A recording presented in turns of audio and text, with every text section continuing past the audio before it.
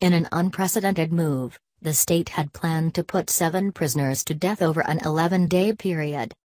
Lawyers said the state was acting unconstitutionally and recklessly.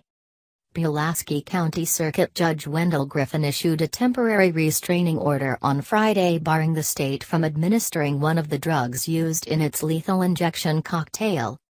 The suppliers of the muscle relaxant, vecuronium bromide, argued that it had been sold to the prison system on the understanding it would be used solely for medical purposes.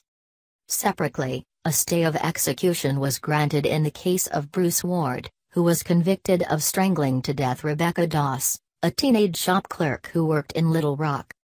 The executions in Arkansas had been arranged to take place before a batch of one of the drugs used by the state expires later this month.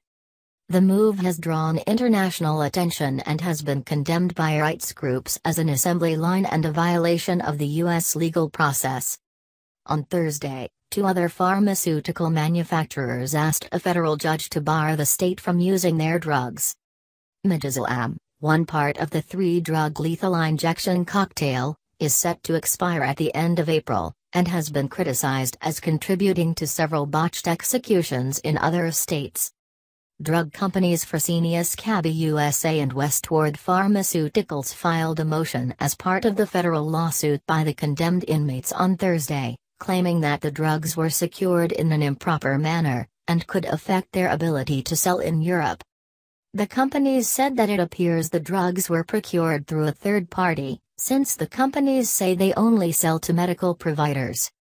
They also argue that the executions could limit their ability to trade in the European Union, which has prohibited the buying or selling of products used for capital punishment. Governor Hutchinson earlier said he was confident that the drugs would work, and that he was satisfied that the prison staff could handle the executions. A group of former prison officials had written to the governor in late March to say that the quick pace would place undue physical and emotional burden on prison staff. But he dismissed that, saying that he had met them and they don't take it lightly. I have a responsibility to the voters, I have a responsibility to my oath of office, but I also have responsibility to a higher power, God and eternity, and I understand that, he said. I feel comfortable in my understanding of my responsibilities both in terms of faith and scripture and in terms of as governor, he added, he added. Thanks for watching, please subscribe SH channel, goodbye and see you again, you again.